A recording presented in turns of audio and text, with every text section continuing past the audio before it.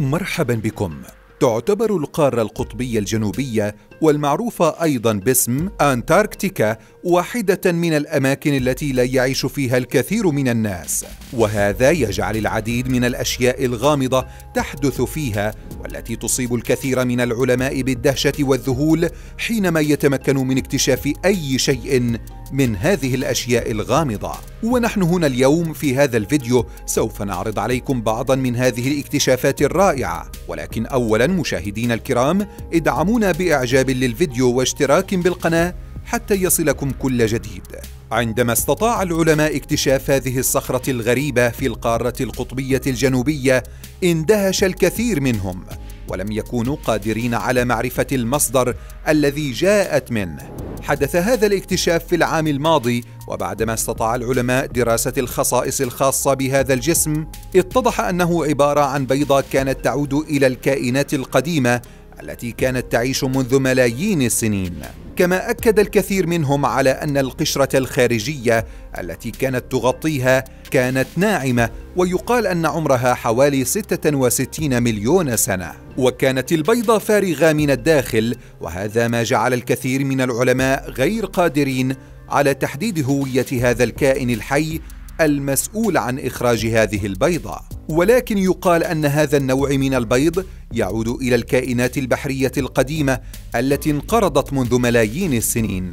وهذه كانت تعتبر أول بيضة حفرية من نوعها يتم اكتشافها في القارة القطبية الجنوبية. أوضحت خرائط جوجل وجود كرة غريبة الشكل في الساحل القريب من القارة القطبية الجنوبية على بعد حوالي 60 كيلومتر. ويقال إن قطر هذا الشكل يصل إلى حوالي 37 متر والغريب أن الصور التي التقطها القمر الصناعي توضح على أن هذا الشكل كان صلب بعض الشيء وهذه الصورة لم يتمكن أي من العلماء تفسيرها. ومن هو الشخص الذي تمكن من تكوين هذا الشكل في هذا المكان؟ أم هل هو مجرد كائن بحري غامض لم نتمكن من اكتشافه حتى الآن؟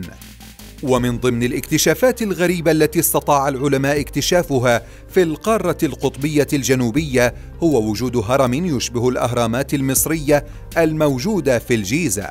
ولكن هذا الهرم كان مغطى بكمية كبيرة جدا من الثلج كما أنه كان يحيط به كمية كبيرة أيضا من الجليد. ويقال أنه تم اكتشافه من قبل في الفترة ما بين 1910 إلى 1913 وما دفع الكثير من الناس إلى محاولة معرفة حقيقة هذا الهرم أصاب الكثير بالدهشة والذهول.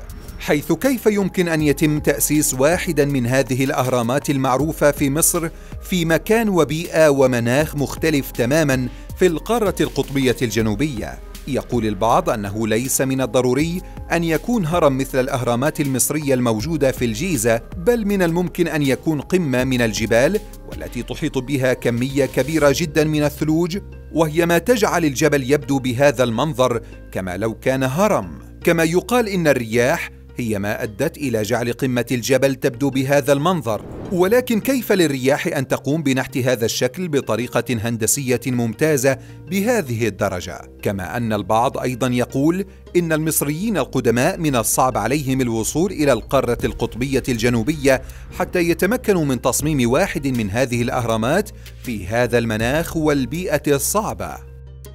تم نشر هذه الصورة على مختلف مواقع التواصل الاجتماعي في القارة القطبية الجنوبية وكان الكثير من الناس قد أصابهم الذهول من حقيقة هذا الجسم الغريب الذي اصطدم على الأرض وكان من الواضح عليه أنه يحاول الفرملة والوقوف مما يؤدي إلى تكوين هذا الشكل الذي يشبه مسار العجل. وهذا جعل الكثير من الناس يقول أن ربما حاول الفضائيين الوصول إلى كوكب الأرض والهبوط في هذا المكان بعيدا عن باقي البشر. ولكن تمت عملية الهبوط بطريقة خاطئة مما يؤدي إلى تكوين هذا الشكل الذي تراه أمامك في هذه الصورة. ولكن بعضا من العلماء الآخرين يقولون أنه من الممكن أن تكون هذه عبارة عن صخرة سقطت من فوق جبل مما جعلها تنحدر على الأرض وتكون كتلة كبيرة من الثلج هي ما أدت في النهاية إلى هذا الشكل. بالرغم من أن القارة القطبية الجنوبية تعتبر واحدة من المناطق الأكثر تعرض لكمية كبيرة جدا من الثلوج، إلا أن العلماء استطاعوا اكتشاف مجموعة من الحفريات المحترقة في إحدى الغابات التي كانت توجد في القارة القطبية الجنوبية، ويقال أن هذا الحريق قد حدث منذ أكثر من 250 مليون سنة مما أدى إلى إشعال الحريق في العديد من الأشجار التي كانت توجد في هذه المنطقة منذ القدم. وبالفعل توجد العديد من علامات النيران على مجموعة من الأشجار والصخور والحفريات وهذا ما يدهش الكثير من العلماء ويقول البعض إن هذا الشيء قد حدث بسبب نشاط بركاني والبعض الآخر يقول بسبب سقوط أحد النيازك على هذه المنطقة ولكن لم يتوصلوا جميعا إلى قرار واحد صحيح. تعتبر القارة القطبية الجنوبية واحدة من أكثر المناطق التي تسقط عليها كمية كبيرة جدا من النيازك والأجرام السماوية من الفضاء.